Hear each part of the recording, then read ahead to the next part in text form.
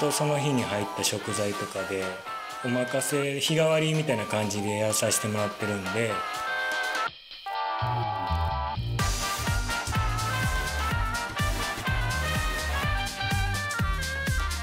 岡山の総社にある福トマトというフルーツトマトを使った冷たい前菜です。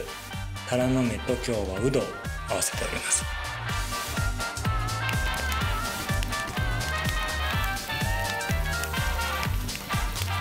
炙ったブリの下に大根餅を忍ばせてますので一緒に食べていただくお料理です。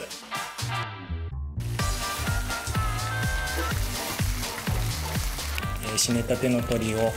炭火焼きしまして焼ききんかんと芽キャベツを、はい、今旬のものを全部入れてる感じですか。春野菜とか生命力が溢れてる感じの食材が多いんでそれを上手にこう調理してやると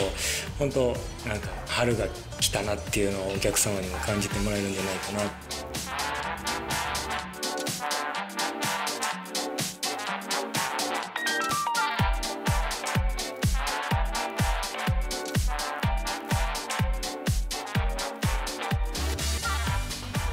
1時間半か2時間ぐらいかけてゆっくりとこうご飯を食べて、まあ、楽しんで帰っていただけたらなという感じです。